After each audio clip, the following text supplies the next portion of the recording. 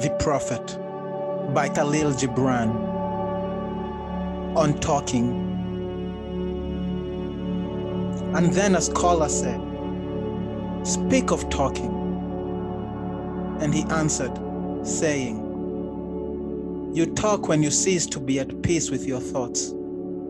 And when you can no longer dwell in the solitude of your heart, you live in your lips. And sound is a diversion and a pastime.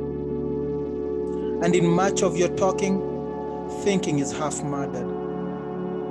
For thought is a bird of space that in a cage of words may indeed unfold its wings but cannot fly. There are those among you who seek the talkative through fear of being alone. The silence of aloneness reveals to their eyes their naked selves, and they will escape. And there are those who talk, and without knowledge or forethought reveal a truth which they themselves do not understand. And there are those who have the truth within them, but they tell it not in words. In the bosom of such as this, the Spirit dwells in rhythmic silence.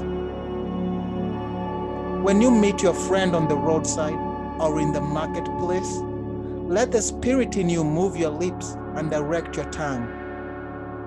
Let the voice within your voice speak to the ear of his ear. For his soul will keep the truth of your heart as the taste of the wine is remembered when the color is forgotten and the vessel is no more.